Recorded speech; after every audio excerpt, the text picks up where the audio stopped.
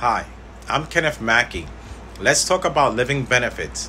Today, in this video, I'll be talking about one of the seven myths of life insurance. Life insurance can sometimes be hard to understand. Do I really need it? And if so, how much? Whether you decide you need life insurance or not, I want to clear up some of the most common misunderstandings about life insurance. So, the last myth that we're talking about is myth number seven.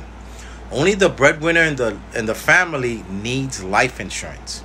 Truth the life insurance benefit covers more than just a missing salary.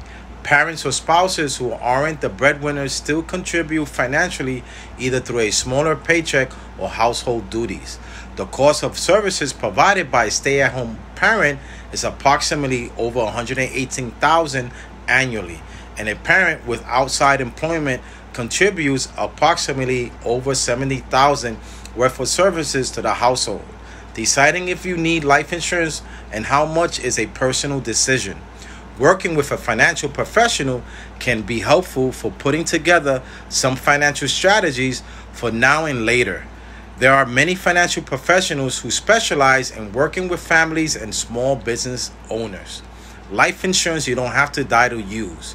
To learn more about the different types of life insurance that are available, schedule a one on one Zoom call with me and let me help you find the right coverage for you and your loved ones.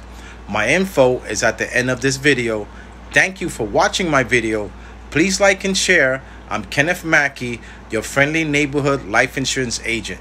Thank you and have a blessed Labor Day.